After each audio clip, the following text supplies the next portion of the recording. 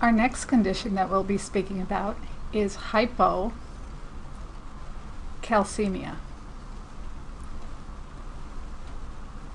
And hypocalcemia is the condition where we're uh, seeing less than 8.5 milligrams per deciliter of calcium in the blood. Now, calcium is found both in the extracellular and intracellular fluid. Um, so we see an excessive loss of calcium whenever we have disruptions in fluid and electrolytes. Um, examples would be excessive uh, conditions of loss related to um, diagnoses with uh, pancreatitis. Um, also, thyroid surgeries can produce hypocalcemia. Now, what does this patient look like? They tend to be more on the losing side of the scale. And like almost all of our fluid and electrolyte imbalances, we see somebody who's very uncomfortable, tired, kind of a, an exhausted, really uh, uncomfortable look. Trying to give you a little frown here. And um, one of the most concerning issues is the effect of the hypocalcemia on the heart, again causing arrhythmias. Patients will exhibit confusion. So when you're thinking of their overall needs, you want to make sure that the environment is always safe.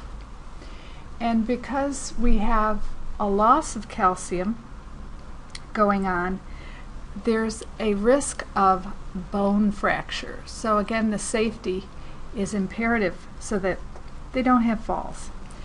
The muscles exhibit twitching and tremor to the point that uh, tetany can also occur. And there are a couple of ways that we can assess for hypocalcemia by doing a couple of tests called one, the Chvostek sign, which is when you gently tap the angle of the jaw right below the ear. And when this is done, somebody with hypocalcemia may turn towards the affected side and almost have like a little chattering um, or tremor of their muscle occur. The other test is when you put a blood pressure cuff on the arm, pump it up for a short amount of time, and it produces almost a flapping, fin like flapping of the hand. This is called Trousseau's sign. So, what's to be done? We know that um, it's important to monitor neurological signs as well as cardiac signs and administer IV calcium gluconate or calcium chloride as ordered to um, rebalance the underlying um, hypocalcemic condition. Also, oral calcium and vitamin D supplements can be added.